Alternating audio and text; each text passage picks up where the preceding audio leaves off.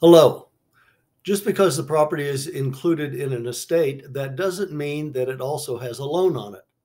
But what are your options if the property is worth less than the loan amount owed? If the property is in the estate, you also inherit the loan. In order to sell the property, you must pay off the loan at closing. Generally speaking, you have several options if the loan amount exceeds what the property is worth. First, with the mortgage in place, you can keep the property and continue making the mortgage payments.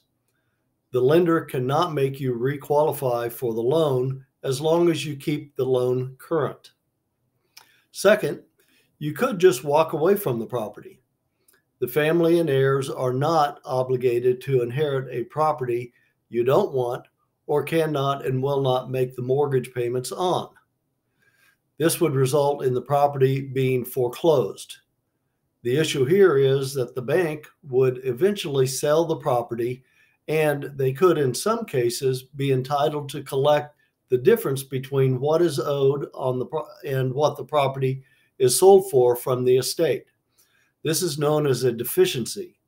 This could complicate closing and probate as well. Third, to avoid foreclosure, you could pursue a short sale of the property.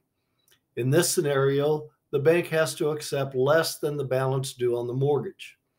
In some cases, they would forgive the deficiency, which is the difference between the mortgage and the sale price of the property. However, some ca- in some cases, they may only agree to the short sale if the estate agrees to pay all or a portion of the deficiency. Fourth is a deed in lieu of foreclosure. Basically, this is where you would call the bank and tell them that you want to voluntarily hand over the keys and all rights of ownership to the property. They will not incur the expense of the foreclosure process depending on the terms of the original uh, promissory note and deed of trust.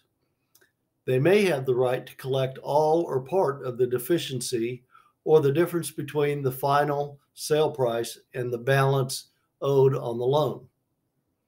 Consulting with a probate attorney, tax advisor, and the mortgage company who is servicing the mortgage regarding your financial obligations on the loan is recommended. Please feel free to call me at 314 926 1980 to discuss your situation if you feel this may be your predicament.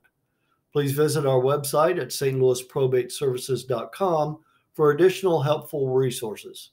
We look forward to assisting you, and thanks for joining us on this video. Take care.